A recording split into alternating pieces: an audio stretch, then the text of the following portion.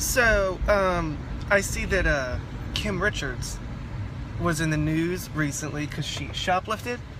And somebody asked me if I was going to make a video about that. And I'm not going to because I have something more exclusive to discuss.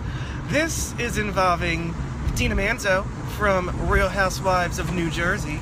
In fact, um, I'm gonna post this video right on her wall. Maybe she'll respond to it. So um, this this is for you, Dina. I'm gonna speak directly to you, Dean. Um, Dean, why don't you tell everyone what you did, Dean? why don't you tell everyone what you did? Because I know someone who knows someone who knows someone and it knows all about the situation that's not not quite public knowledge. Um, Dean, why don't you tell everyone how you were at a cancer event at like a benefit for people with cancer. Why don't you tell them how you met this millionaire, married millionaire, who owns one of the most successful Hyundai dealerships in the country? He's one of like the richest men in New Jersey. Why don't you tell them what you did, Dean? Why don't you tell your fans about how you met this married man and then you spread open your labial walls for this married man and he put his married penis in you and then he left his wife for you, Dean, and now he visits you. Apparently you have like a summer home in California, and he's been visiting you on weekends. And he has two beautiful children, a boy and a girl. And he even brought those children to meet you. Um, and because my friend who told me this doesn't even know who you are, and she doesn't watch Real Housewives, and she was, I was like, is this really true? And she was like, yeah, his kids met Dean and apparently they were confused because she has a two-legged dog. I was like, yeah, she does have a two-legged dog. Dean, now you're bringing your two-legged dog into this mess. You're bringing this affair around your two-legged dog who has like wheels instead of legs. Now this dog is wheeling around this affair because you've been having a scandalous affair with this married man and he left his wife for you. What do you have to say for yourself, Dean? What do you have to say? Now, I think you need to go to Rite Aid.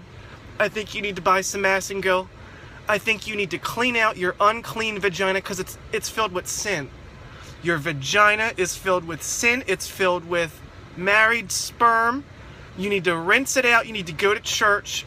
You need to pray for forgiveness because Jesus doesn't like women who get involved with married men. I saw the pictures, Dean. I saw the pictures of the man that you are having an affair with, and I saw the pictures of his wife, who is now a scorned wife, and his children. I was gonna send you a slideshow of like in the background of my video, like of the smiling family, but I don't have time for all that. But you know what you did, Dean? You broke up a family. What do you have to say for yourself? You, you cheating bitch! You bitch! What does your sister Carolyn Manzo have to say about this affair? Does she know about it?